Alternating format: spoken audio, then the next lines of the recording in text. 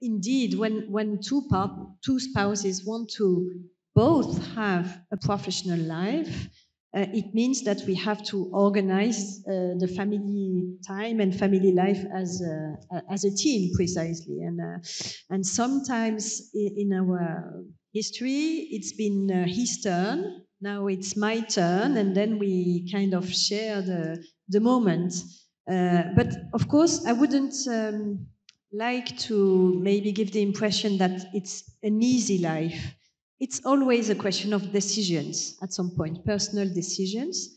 And uh, as Constance was saying, I mean, uh, you have to find a partner that's, that is okay to sacrifice a, a, bit of, of the life or to be okay to move every three years when you're a diplomat. So, but at some point, it's a question of, of choice.